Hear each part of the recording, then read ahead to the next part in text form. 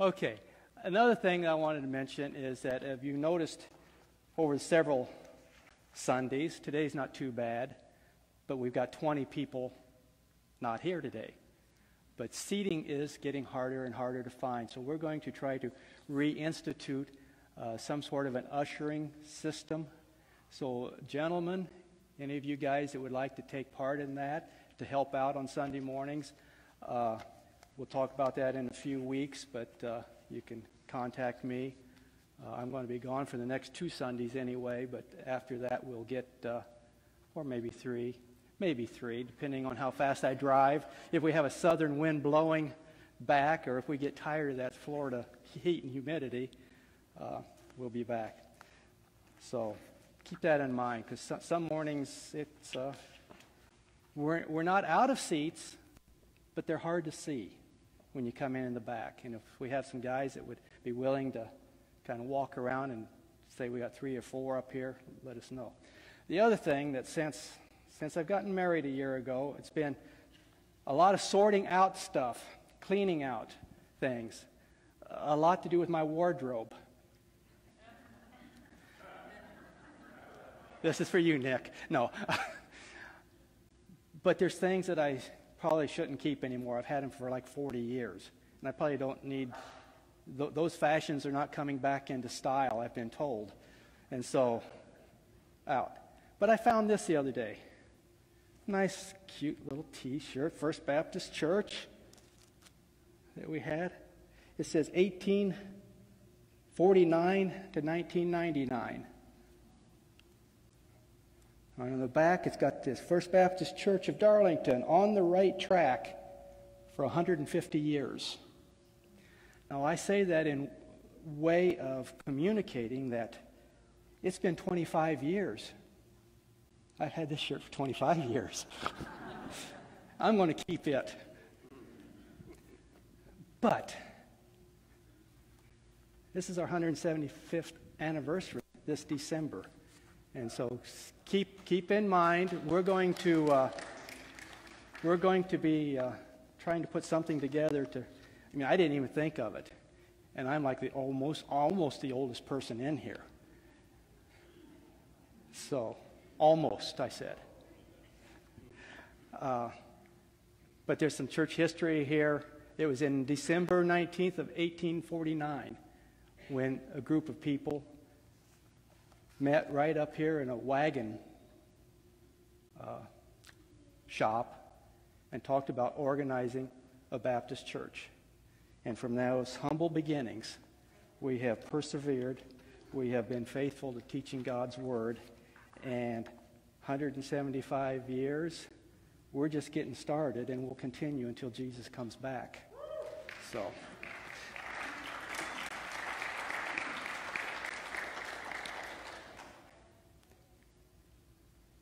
The scripture today is John chapter 2. Last week I two weeks ago, I spoke about John chapter 1. Yes. Children's Church. Children's Church. My wife told me, don't forget the Children's Church. If you are a child, a children, children that goes to Children's Church, you may rise and you may head that direction. Oh, I am so sorry. I'm sorry. I, you just told me. Maybe I am the oldest person in here. Oh, man. Okay. John chapter 2. We're going to look at the first 11 verses today.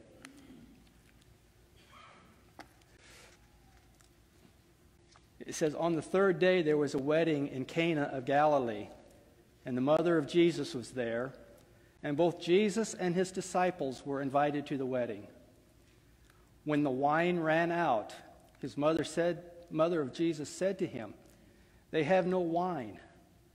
Jesus said to her, Woman, what does that have to do with us? My hour has not yet come. His mother said to the servants, Whatever he says to you, do it. Now there were six stone water pots set there for the Jewish custom of purification, containing 20 or 30 gallons each. Jesus said to them, Fill the water pots with water. So they filled them to the brim.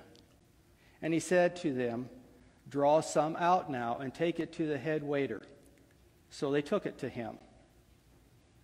When the head waiter tasted the water, which had become wine, and did not know where it came from, but the servants who drew, had drawn the water knew, the head waiter called the bridegroom and said to him, Every man serves the good wine first, and when the people have drunk freely, then he serves the poorer wine. But you have kept the good wine until now. This beginning of his signs Jesus did in Cana of Galilee and manifested his glory, and his disciples believed in him. Shall we pray?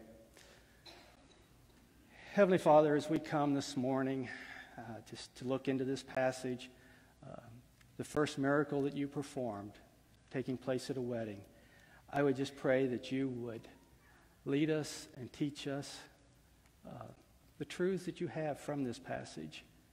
Uh, sometimes we become too familiar with stories of the Bible and, and we overlook things or don't, don't glean out some of the, the deeper things in there. And I would just pray that if there's things here, that you would open our hearts to that. And I pray all of this in Jesus' name. Amen. So, who's planned a wedding lately? Anybody working on that, planning a, wedding, uh, say within the last couple of years? You know, there's a lot of, a lot of details to take care of, to get worked out. From today's lesson in John chapter 2, first 11 verses, takes place at a wedding reception. And at that wedding reception, we see Jesus interacting in a normal setting, but in an abnormal way. Our lesson picks up in John's second chapter with the story, familiar to most of us, uh, Jesus' first miracle. And it starts out by saying that on the third day, uh, we might ask, you know, what's that third day from? Well, two weeks ago we talked about Jesus calling some of his disciples and, and meeting with Nathanael, and, and Nathanael and Jesus having a conversation, Nathanael declaring, Jesus, you are the Son of God. And then they, they move on. Uh, it says that uh, that all took place near Bethany, where John was baptizing. Now it's three days later. In those days, back then, they had a thing for the, the young men, the young boys, called the bar mitzvah. And we've heard of that, the bar mitzvah. It was a celebration into manhood, into adulthood, where he's no longer recognized as a young boy. He's now has the rights, responsibilities of a man age 13, that took place. How old are you guys? 13? Ready to get married? Mom says, good. Boys, age 13. Girls, age 12. They could be married legally.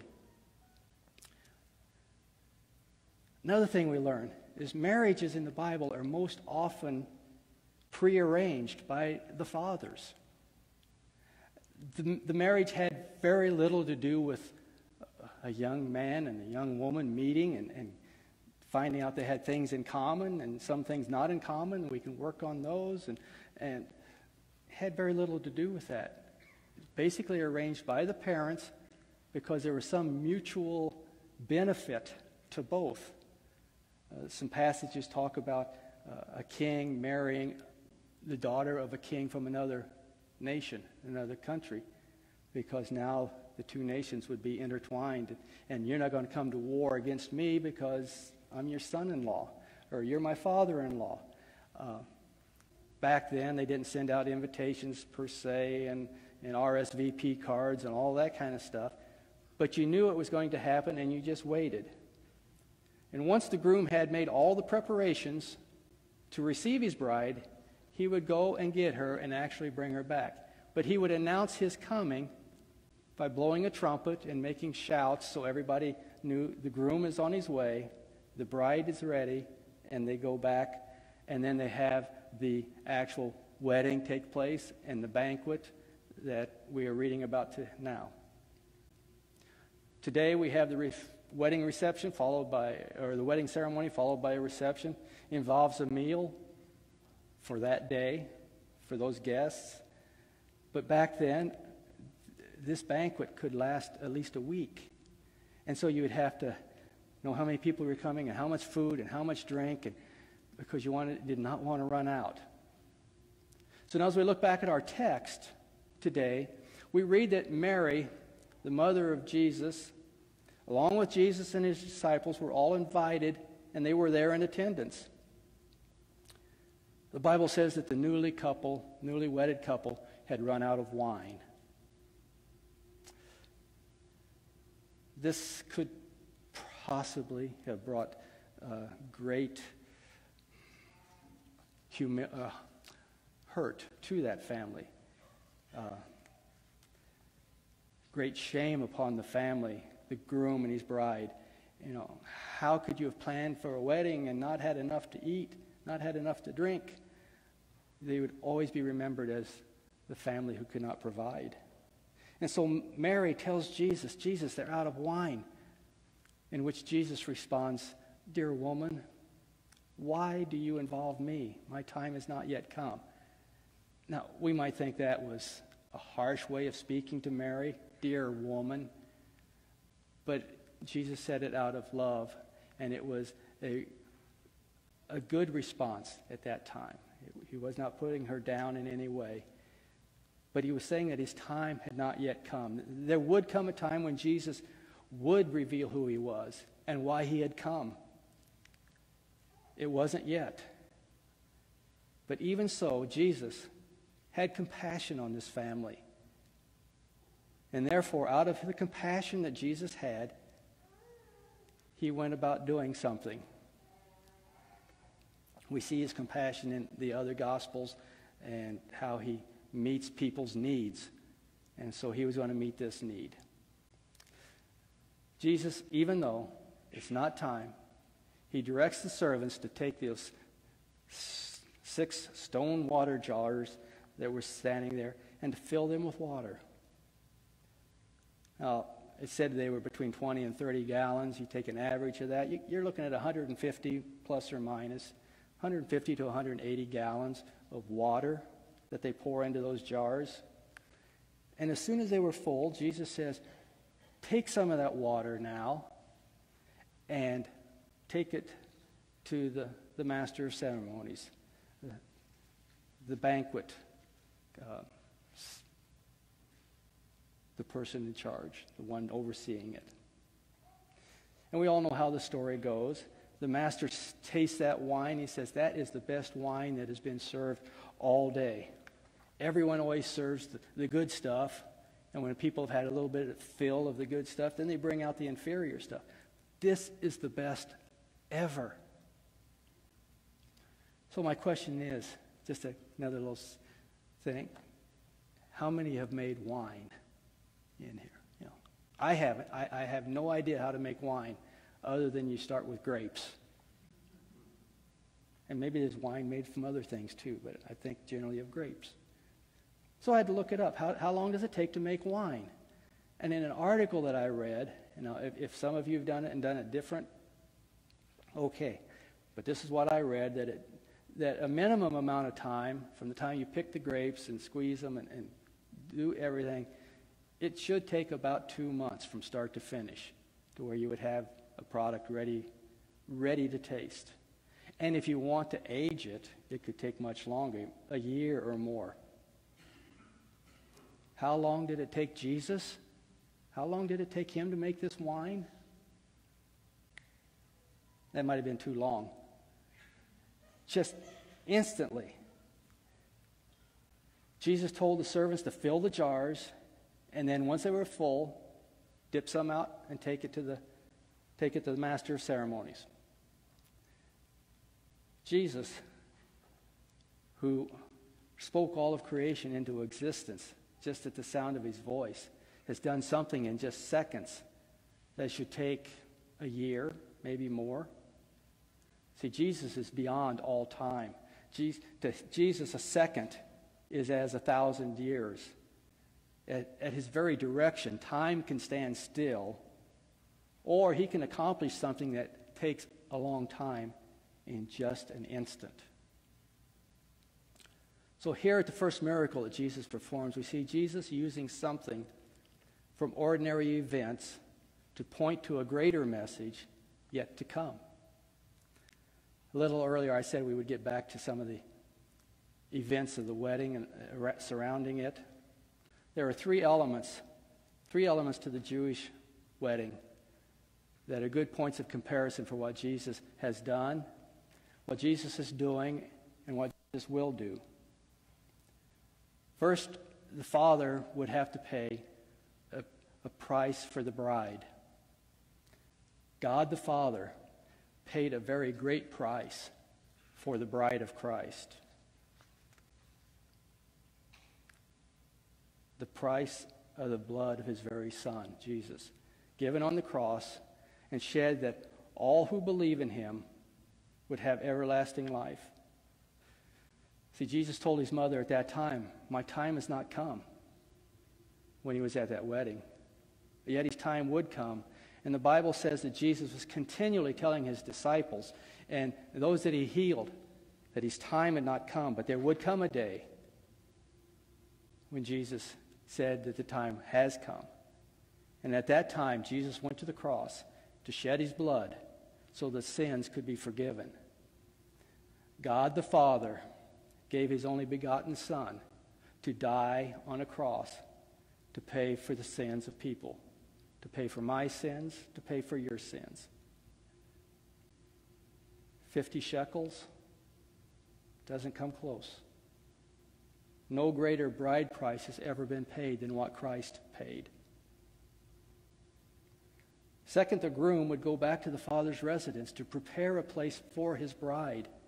Jesus, following the, his death and resurrection, we are told in John chapter 14, has gone to heaven where he is preparing a place for us. Just as the groom in Israel would go back home and make a place for his bride, Jesus has gone to prepare a place for us. In this analogy that Jesus used, the church is the bride of Christ, being made ready for the groom. We, the church, together are the bride of Christ that he died for, that he's now preparing a place for. As we put our faith in Christ, we become members of that universal church known as the bride of Christ. And it is for this, bride, this price, this bride that Jesus is preparing a place that he may come and receive her unto himself.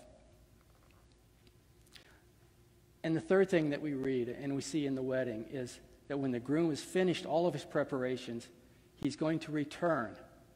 He will return to get his bride and to take her to himself and take her where he will have a great banquet ready. The bride has no idea when this is going to take place, but she looked expectantly towards that day. When the groom is ready, he will announce with a trumpet and with a loud shout that he is coming back. We need to be ready. We need to be watching. We need to be making all the preparations we need to as the bride of Christ to be ready for that day he returns. We are told in the Bible that when Jesus comes back, the dead in Christ will rise, and then those, of, uh, those who are alive in him will be taken to heaven, and they will be joined with the Lord, and there will be a great celebration. Until Jesus comes, until he returns, we are commanded to do just a couple of things. We're commanded to go and make disciples of all people.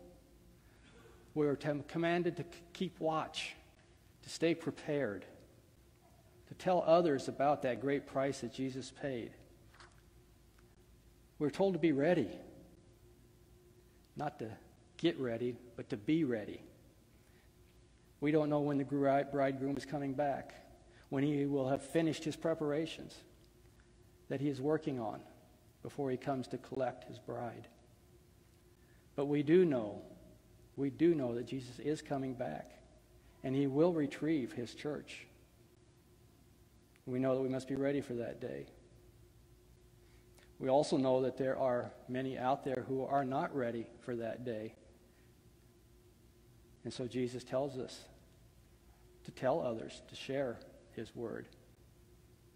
When he returns, may he find us busy telling others, showing them how to be ready, how to wait for his return.